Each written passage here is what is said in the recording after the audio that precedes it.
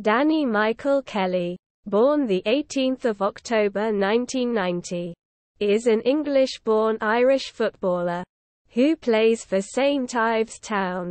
After spells with the youth teams of Cambridge United, Peterborough United and Histon, Kelly joined Norwich City in 2007. Successful performances in the youth and reserve teams saw him rewarded with a one-year professional contract in 2009. However, he never played for the Canaries' first team. The closest he came were five appearances on the bench. He joined League Two side Barnet in the summer of 2010 and made his debut against Chesterfield. He made a further three substitute appearances before being sidelined for a number of months with an ankle ligament injury. Kelly was sent on loan after recovering from injury to Conference South club Dover Athletic for one month.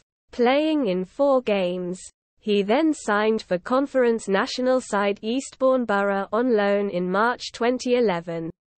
Going on to make 12 appearances for the club both as a striker and at centre-back.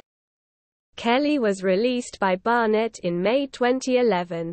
He joined Cambridge City on a free transfer on 26 August 2011.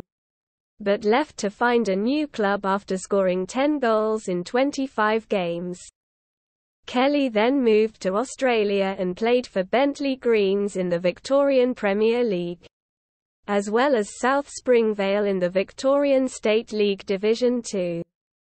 In 2014, Kelly returned to England and rejoined Cambridge City. He joined St Ives Town for the 2016-17 season. At international level he has captained the Republic of Ireland under 19 side.